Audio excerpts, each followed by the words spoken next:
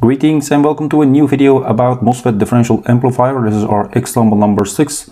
In this example we will discuss the more advanced variation of our MOSFET differential amplifier where we see both an active load and also the cascode current source all together. So this circuit will be without any resistor in the circuit. So we will see here the cascode current source. You see that that is only constructed by the transistors and there's also an active load here given by these PMOS transistors. We will see that step by step in our calculations and also verify these in SPICE simulations. So let's look at our circuit. We have here in total five transistors to create this cascode current source. All of them are N-channel enhancement type MOSFETs. The differential pair is created by M1 and M2, also N-type N-channel enhancement MOSFETs and the active load is created by the M8 and M9. They are the P-channel enhancement type MOSFETs again. The parameters for the MOSFET are shown here. You see the threshold voltages and also the K sub N or P depending on N or the P channel and also the lambdas for each of them. What we also have is that our tail current here, IX, will be 600 microamps. This is what we have discussed uh, previously in a separate video about the cascode current source. And the reference current we use here is 1 milliamps. VDD and VSS is also given. So, and we have now these three uh, questions again. In this case, single-ended differential mode voltage gain and also the single-ended common mode voltage gain and so the single-ended common mode rejection ratio based on these two results. So let's look at our solutions. First we start with the calculations, but before we do that, let's also designate the currents here, a DC current IRF here, and there is an IX here, so this will be 1 milliamp, this will be 600 microamps. And there is also IS1, this is the source current of M1, and IS2, this is the source current of M2. This will be IS1 will be equal to IS2 because this is a symmetric device and this IS IX, the tail current, will be then split into two equal parts. The gate currents are zero because the MOSFET is acting here as a capacitor for DC. So the drain current of M1 is equal to the source current of M1 and drain current of M2 will be the source current of M2. Okay. So let's look at the solutions. As said, drain currents of M1 and M2 will split in two equal parts. So that means ID1 is equal to ID2. There will be then ID5 over 2 or this is the ID5 or IX over 2. And since IX is set to 600 microamps, so we of course then for the ID1 and ID2 300 microamps. The transconductance of M2 is GM2 that will be given by this expression where you see that we need a KN2, the capital letter KN2 and ID2, so DC drain current. The KN2 is related to that small letter KN prime and also this W over L of this M2. So we have W over L, which is just this multiplication factor, M is 1, so it means W over L is 1, and K sub N of 2 prime is also given here as 50 milliamps per square volt. So if you now substitute this here, you will get 25 milliamps per square volts. We know what ID2 is, which is 300 microamps. So when you substitute that in here, you get here 5.477 millisiemens. Now, looking at the single-ended differential mode voltage gain now, that means actually looking at the VO2 over the VID, which is then the differential signal between the two gates of M1 and M2. This is now given by this expression. What you see is actually that we have again a minus because of the inversion and GM2, which is the transconductance of M2, and times the parallel combination of the impedance or resistance seen at this node, and that is actually the output impedance of this M2 and output impedance of this M8. So they are now parallel. So we need to calculate this, and that is done using the channel length modulation. And now this is also the formula. So the effect of the channel length modulation needs to be uh, taken into account. And the formula for RO2 is given by this. And since VDS2 is most of the time much smaller than 1 over lambda, this is approximated by this. And we have now 1 over lambda 2, which is 1 over 0.01. That's actually for this. Divided by ID2, which is 300 microamps, you get here 333 kiloohms.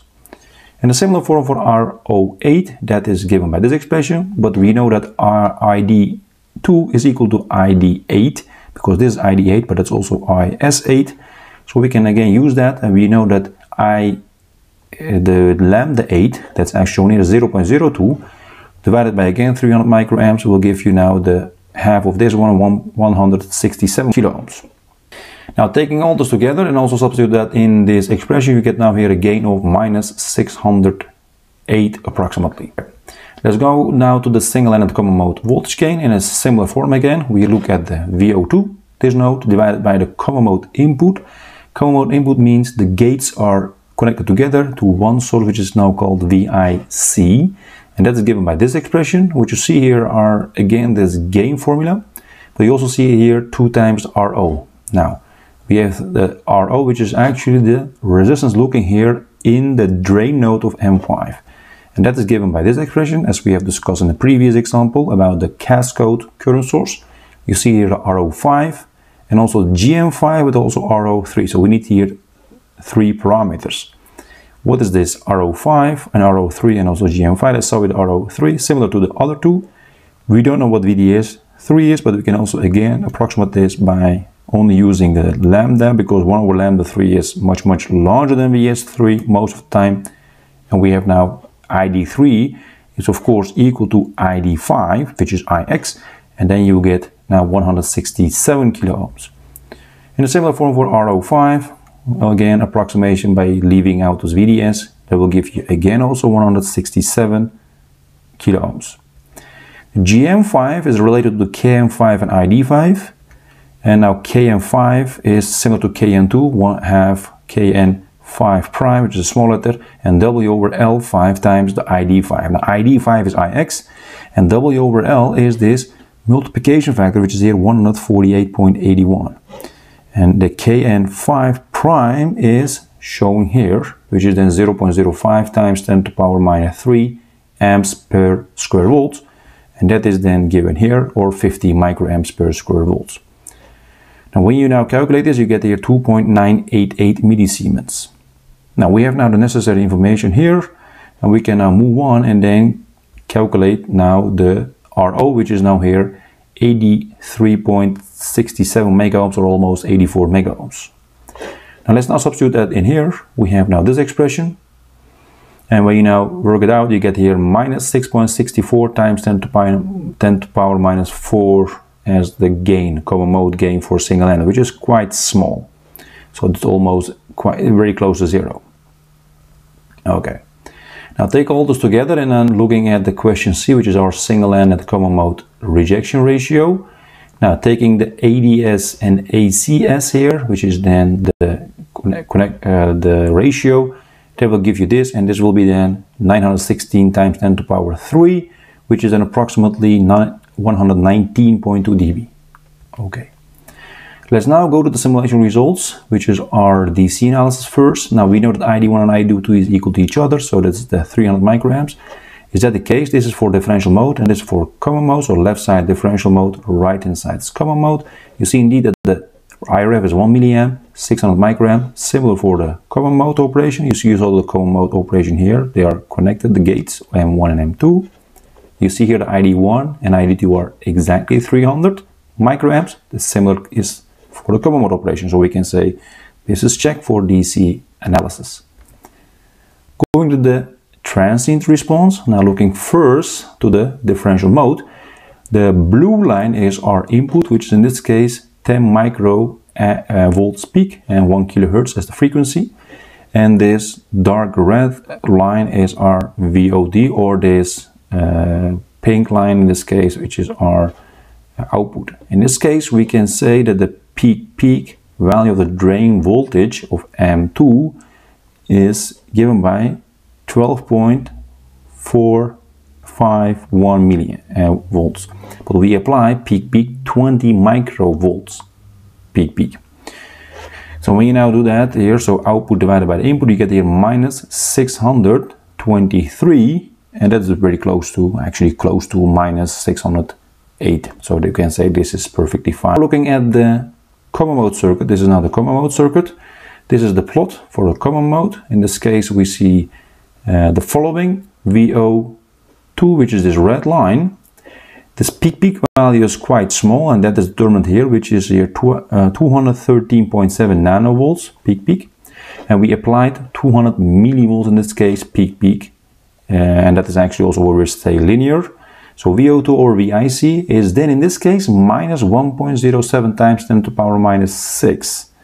So we see here uh, yeah, uh, a significant difference between the actual calculation and also the simulation. The simulator give us lower common mode gain, but we have some error here and the actual source for this error is not really clear for me, but maybe you have an idea, so please let me know in the comment section. So this is actually, a, let's say, an error in our calculations probably.